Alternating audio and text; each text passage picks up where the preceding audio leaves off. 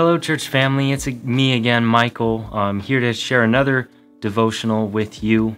Today, we're going to be in the book of Galatians, specifically chapter 3, uh, verses 1 uh, through that first paragraph there.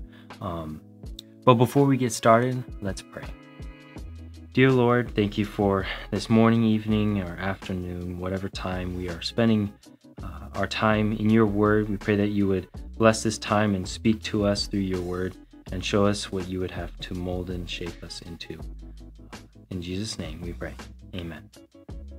All right, so a little bit of background for you, just generally on the book of Galatians. It's a book written with passion. Uh, it's, of course, written to the book, uh, to, to the, uh, the Galatians, the church in Galatia.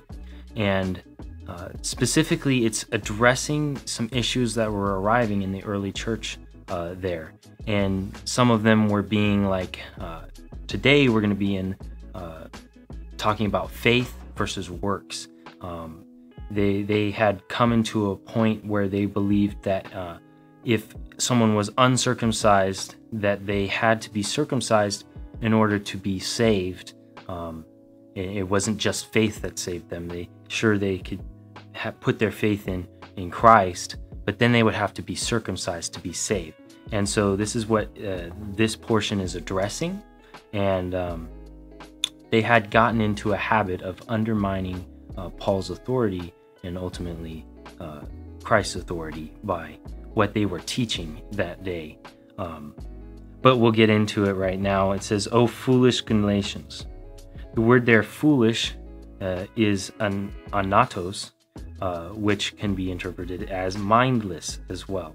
So, O mindless Galatians, who has bewitched you that you should not obey the truth, before whose eyes Jesus Christ was clearly portrayed among you as crucified? So, he was clearly portrayed as crucified, right? He's just laying the groundwork here. This is this only I want to learn from you. Did you not receive did you receive the spirit by the works of the law or by the hearing of faith? Are you so foolish, having begun in the Spirit? Are you now being made perfect by the flesh? Have you suffered so many things in vain, if indeed it was in vain? So he begins by um, an emphatic question here, right? He says, This only I want to learn from you. Did you receive the Spirit by the works of the law or by the hearing of faith? So he's drawing a contrast to them. He, he's showing them, did you receive the Spirit by obtaining and doing every one of the laws of Moses? Or did you hear by faith? Did you hear the good news, the gospel, by faith and believe in your heart that it was true, that Jesus did come and he did die? He clearly was portrayed as crucified. Or did you work that in your own self out? And were you saved by your own works? Remember, it's very clear which is correct here, right? It was by faith. Are you so foolish, having uh, begun in the Spirit?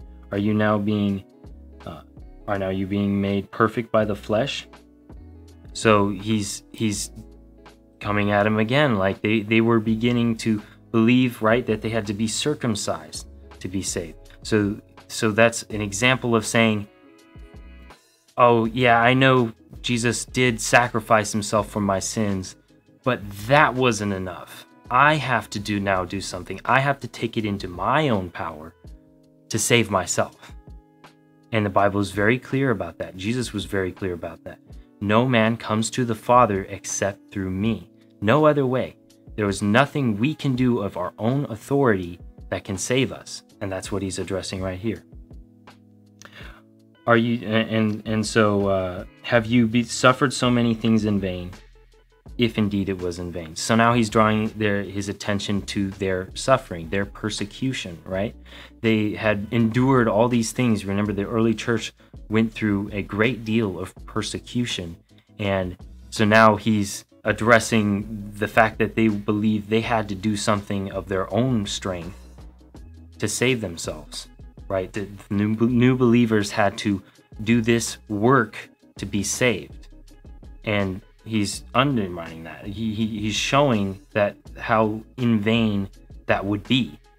That their faith is the only thing. The faith in Christ is what saved them, not the works of the flesh, working by their own power, because their own power is the flesh. That could not save them. And in our day and age, that can be very well true of us. Oftentimes, we believe that uh, what we're doing is right and that we have to do this in order for God to look upon us as, uh, oh, good, well done. But all He wants is our faith, our trust, and our love for Him. He is the one who works in our heart and renews us in His strength. It's not by our strength, but by His.